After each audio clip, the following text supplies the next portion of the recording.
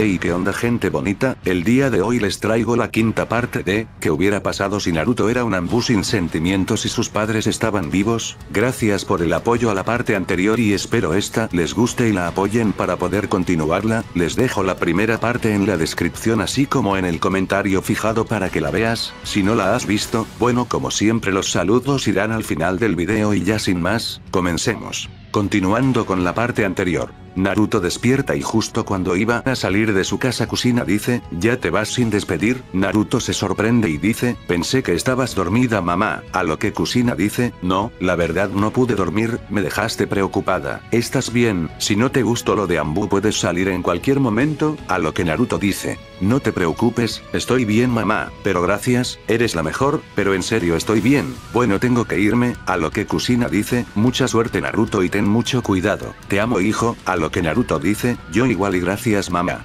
Ya después de eso Naruto llegaría con Danzo y este al verlo dice, así que si viniste Naruto, me da gusto tenerte aquí, por un momento pensé que no vendrías, a lo que Naruto dice, lo estuve pensando y estoy listo para ser más fuerte y caminar por la oscuridad, por favor Danzo, necesito que me enseñe. Danzo sonríe al escuchar eso y dice, muy bien, entonces quiero que vayas al campo de entrenamiento un equipo te estará esperando ahí, ya después hablaremos de otras cosas. Naruto va y se reúne con un escuadrón y tendría su primer entrenamiento, después de eso Danzo se vuelve a reunir con Naruto y le dice, ¿qué tal estuvo el entrenamiento? A lo que Naruto dice, un poco duro, pero puedo con él, pero ¿qué es lo que pasa? Estoy seguro que no me llamo para hablar de eso, a lo que Danzo dice, eres un inteligente, tienes razón, te llame porque quiero hablar de unas cosas más serias y quiero que me digas la verdad, tu padre te dijo que espiaras mis movimientos, que fueras como un espía aquí. Naruto se sorprende al escuchar eso y se queda callado por un momento. Después de eso Danzo dice, vamos, dime la verdad Naruto, a lo que este responde, sí, señor, eso hizo mi padre, me pidió que lo espiara y le diera información, a lo que Danzo dice, tal como imagine, sabía que había sido muy fácil que tu padre te dejara entrar. Pero es algo muy triste. Naruto al escuchar eso dice, ¿qué? ¿Por qué dice eso? ¿Qué quiere decir? A lo que Danzo dice, es muy obvio, que no te das cuenta, solo te está utilizando y aprovechando de lo que tú quieres. Él vio la oportunidad de infiltrar a alguien y no lo dudo, se aprovechó de ti y de mí, Naruto no podía creer las palabras de Danzo, pero al mismo tiempo muchas cosas tenían sentido para él. Después de eso Naruto dice, porque dice que se aprovechó de usted, a lo que Danzo dice, porque yo quiero entrenarte, es muy conocido que me gusta entrenar y shinobis que tienen mucho potencial y en verdad creo que eres uno de los ninjas que llegarán a marcar la historia. Pero aún hay que trabajar mucho Naruto, como te he dicho, aún eres muy blando, además de que has sido solo una víctima, primero tu padre te utilizó para sellar al Kyuubi dentro de ti y ahora aprovecho la oportunidad para hacerte un espía aquí, tal vez solo te ve como una herramienta. Naruto se molesta al escuchar eso y dice, no vuelva a decir eso, eso no lo creo, mi padre no haría eso, a lo que Danzo dice, solo digo lo que parece, además hay muchas cosas que aún desconoces. Hasta tu padre ha hecho cosas horribles, pero eso lo hablaremos en el futuro, por ahora puedes irte, mañana tienes que estar aquí, que tendrás tu primera misión, a lo que Naruto dice, muy bien, aquí estaré mañana, por cierto me ha dado mucho que pensar Lord Danzo, gracias. Después de eso Naruto se va a su casa, mientras que Danzo ahora que estaba solo dice, muy bien, ya he sembrado la duda en él, ahora solo me queda llevarlo por el camino de la oscuridad y hacerlo mío, después de eso lo convertiré en mi hombre más fiel. Ya después Naruto llega a su casa y Kusina le pregunta, ¿cómo estás hijo? ¿Qué tal te fue hoy? A lo que Naruto dice, todo bien, solo estoy algo cansado, me iré a dormir madre, tengo mucho sueño, a lo que ella dice, está bien, duerme un rato, pero cuando esté la cena iré por ti. Ya más tarde la cena estaría lista y Kusina va al cuarto de Naruto y al verlo dormir decide mejor dejarlo así, a lo que Minato le dice, es mejor que duerma, después de todos los entrenamientos en Ambu son muy duros, tal vez él no lo acepte, pero sí deben ser muy difíciles, a lo que Kusina dice, Tienes razón Minato, pero aún así tengo miedo, sabes que como su madre me preocupa mucho que algo le pueda pasar, a lo que Minato dice, tranquila, no creo que dejen que le pase nada, después de todo saben que es el hijo del Hokage. Bueno, aún así no te negaré que sí me preocupa, pero más que nada por Danzo, sus métodos son inhumanos. Ya al día siguiente Naruto tendría su primera misión la cual era detener a unos ninjas de otra aldea que andaban cerca de Konoha recolectando información.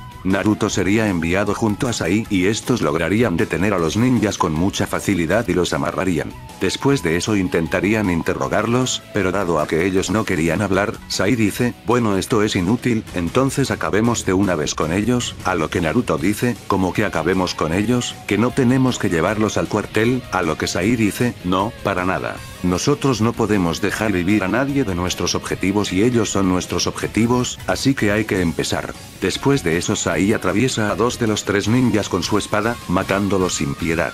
Naruto al ver eso no podía creerlo ya que era la primera vez que veía que mataran a alguien y Sai dice, bueno, te toca, ese último es tuyo, a lo que Naruto dice, no sé si sea capaz de hacer esto, la verdad nunca lo he hecho, a lo que Sai dice, tranquilo, después de esto todo estará bien, a veces es difícil la primera vez, pero tienes que hacerlo. Esta es la vida real de un ninja, son ellos o nosotros, él no habría tenido piedad para acabar contigo, a lo que Naruto dice, puede que tengas razón, pero, a lo que Sai dice, ¿qué es lo que pasa? ¿Acaso no tienes lo necesario para ser un Ambu? Vamos no lo pienses y hazlo, a lo que Naruto dice, muy bien, tienes razón y saca un kunai. Después de eso Naruto se acerca al ninja, pero aún lo dudaba, pero el ninja le dice, ¿qué pasa? No puedes hacerlo, eres muy débil, no puedo creer que alguien como tú sea un ninja, a lo que Naruto dice, cállate y lo golpea. Después de eso Naruto dice, esto es lo mejor y en un abrir y cerrar de ojos le corta el cuello al ninja. Después de eso Naruto empieza a llorar, a lo que Sai dice, vaya sí que eres muy blando, pero tranquilo ya te acostumbrarás, Naruto se tranquiliza y dice, ¿a cuántas personas has matado? A lo que Sai dice, a más de las que puedo recordar, hace mucho que pasó la primera vez que ya ni me acuerdo. Naruto estaba sorprendido y dice, ¿cómo le haces? ¿Cómo les haces para que no te afecte el quitar una vida? A lo que Sai dice, con el tiempo se vuelve normal, tal vez algún día puedas llegar a matar a algún traidor de la aldea, como a Itachi Uchiha un ninja de Konoha que acabó con todo su clan. Naruto al escuchar eso no podía creerlo ya que para él había sido muy difícil matar a una persona, así que intentaba imaginar cómo era Itachi. Ya después de eso Naruto y Sai irían con Danzo para informarle cómo había terminado la misión, después de eso Naruto le dice a Danzo, señor, hoy pasó algo, estuve cerca de no matar a uno de los ninjas, al final terminé con él, pero fue tan difícil, creo que nunca había batallado tanto en hacer algo, a lo que Danzo dice, es normal en algunos ninjas, hay muchos que no están hechos para matar, ni para hacer ninjas, como bien debes saber la vida del shinobi es pelear por proteger lo que quieres sin importar que, a lo que Naruto dice, lo sé, pero el motivo de que le diga esto es otro.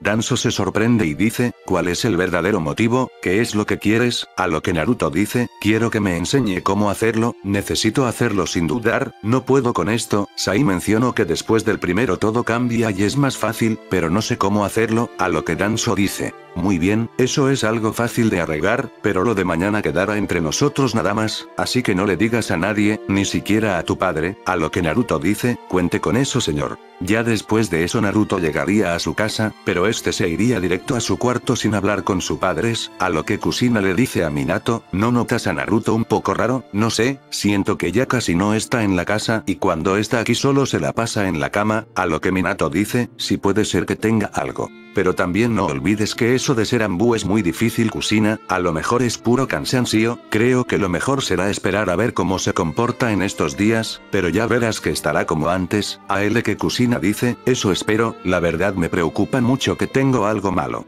Al día siguiente Naruto sale de su casa sin despedirse de nadie, lo cual a Kusina se le hace muy raro y dice en su mente, cuando llegue hablaré seriamente con él. Ya después Naruto llegaría con Danzo y le dice, estoy aquí señor, listo para cualquier cosa, a lo que Danzo dice, me agrada escuchar eso, ahora me acompañarás a un lugar donde trabajaremos para que no vuelva a pasar lo de ayer, así que vámonos. Naruto le pregunta a Danzo, ¿a dónde vamos señor? A lo que este responde, con un viejo amigo, su nombre es Orochimaru. Bueno eso es todo por este video, próximamente se pondrá genial y ya lo verán, así que no dejen de verla, pero bueno si quieres una siguiente parte no olvides dejar tu like y comentar. Te dejo un video en el comentario fijado para que vayas y lo cheques, bueno ahora quisiera mandar saludos para Javier, Juan David González, DC Mangalol, Goan 720, Daniel Rivera, Joshua, Claudes.